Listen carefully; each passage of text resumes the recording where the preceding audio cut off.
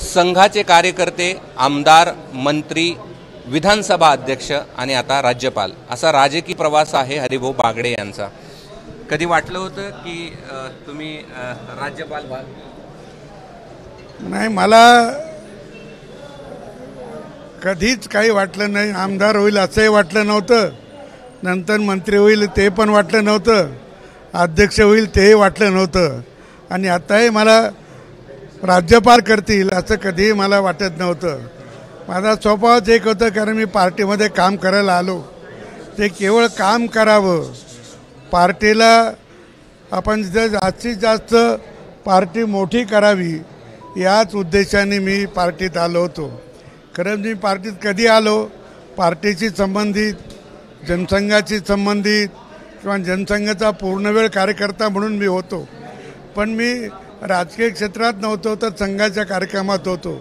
ऐंशी साली ज्या आपली जी काही वाताहत झाली सगळी तर त्यावेळेला मी ठरवलं होतं की आता पार्टीत जाऊन आपण पूर्ण वेळ काम करावं जेवढं अधिकाधिक काम करता येईल. अशा वेळेला मी पार्टीत आलो. मला त्यावेळेला प्रमोदजी म्हणाले होते की अरे भाऊ आता अनेक जण पार्टीच्या बाहेर जातील आणि तू पार्टी देतो. मला मी कामालाच येणार आहे. मी दुसरे कशाला येणार नाही. आणि म्हणून तेव्हापासून पार्टीचं सातत्याने काम करत गेलो. पार्टी जे काम सांगेल ते मी करत गेलो. आणि त्याच्यामुळे स्वाभाविकपणे मला या सगळ्या पदावर काम करायची संधी या पार्टीने दिली आमच्या नेत्यांनी दिली.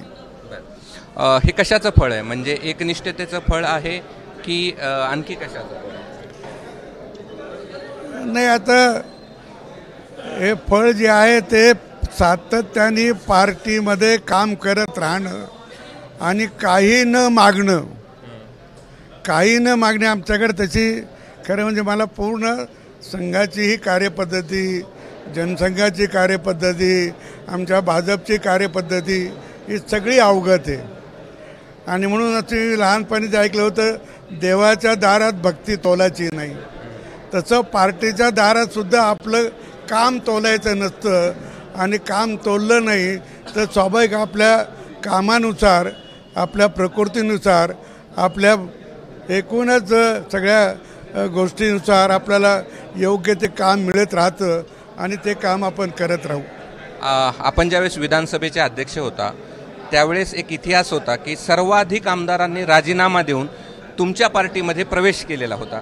आता राज्यपाल असताना अशा राज्यामध्ये जा जात आहात आपण की जिथं भाजपामध्ये सुद्धा दोन पक्षा दोन नेत्यांमधला जो मुख्यमंत्री पदावरणाचा सध्याचा जो सगळं प्रकरण सुरू होतं त्यातनं चिठ्ठी निघाली वगैरे वगैरे वगैरे. तिथं नेमकी काय आव्हान आहे या सगळ्या? नाही नाही आता तो विधानसभेतला आमदाराचा मंत्रिमंडळाचा प्रश्न वेगळा आहे. आणि राज्यपालाचं काम वेगळं आहे. राज्यपालाचं काम एवढंच आहे की विधानसभेमध्ये जे अधिवेशन होतं त्याचं एक अभिभाषण करणं आणि काही जे कायदे होतात ते कायदे मंजूर करणं आणि ते मंजूर झाले की मग ते राज राष्ट्रपतीकडे पाठवलं जातं. आता सभागृहातमध्ये काय होतं? त्यांच्या दोन पक्षामध्ये किंवा विरोधी पक्ष सत्ताधारी पक्ष याच्यात काय करतात? ते ते त्याचा काही राज्यपालाशी फारसा संबंध नसतो. हा राज तिथं सभागृहात एखाद्याचं बहुमत कमी झालं असेल आणि ते जर कोणी अवगत केलं असेल तर राज्यपाल हे जरूर सांगू शकतो की तुम्ही विश्वासदर्शक ठराव पास करून घ्या. एक आणखी एक प्रश्न असा आहे. आतापर्यंतचे आदर्श राज्यपाल तुमचे कोण आहेत? ज्यांच्या पा वाटेवर तुम्हाला जायचंय. कोश्यारी का अन्य कोणी? नाही आता खरं म्हणजे मी काय तेवढा सगळ्या राज्यपालाची माहिती घेतली नाही. पण मला राम नायकाचं काम चांगलं आहे. आणि जरूर आम्ही एकत्र काम केलेलं असल्यामुळे आणि रामभाऊचं काम मला सगळ्यात चांगलं वाटलेलं आहे. शेवटचा प्रश्न. तुम्हाला किती आनंद झालाय हे तुम्हाला माहीत आहे. मात्र तुम्ही राज्यपाल झाल्यामुळे फुलंब्रीतल्या सेकंड फळीतले जे नेते आहेत त्यांना प्रचंड आनंद झालेला दिसतोय. नाही प्रचंड प्रचंड आनंद तर ज्याला व्हायचा तो होतोच असतो. मला एवढंच वाटतं की आपल्याला जबाबदारी टाकली ती निर्विघ्नपणे पार पडावी एवढ्यासाठी आपलं चिंतन मनन राहणार आहे. तुमचं वारसदार कोणी निवडणार आहात फुलंब्रीतून? नाही तो मी नाही निवडू शकत ते पार्टी निवडते धन्यवाद. हे होते हरिभाऊ बागडे आणि राज्यपाल झाल्यानंतरची त्यांची ही पहिली प्रतिक्रिया होती. कॅमेरामन धनंजय दारुंट्यासह मी कृष्णा केंडे एबीपी माझा छत्रपती संभाजीनगर. एबीपी माझा उघडा डोळे बघा नीट.